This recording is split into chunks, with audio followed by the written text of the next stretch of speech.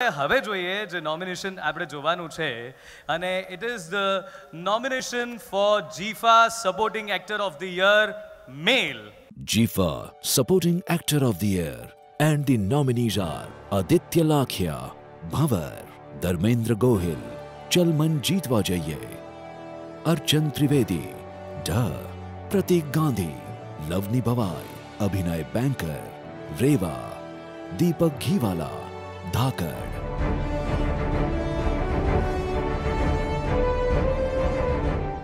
અને to present this award, I would like to call upon the stage Mr.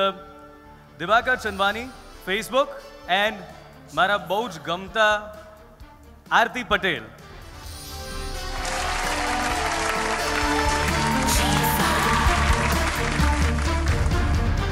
Jifa supporting actor of the year चलमन जीतवा चाहिए धर्मेंद्र गोहिल।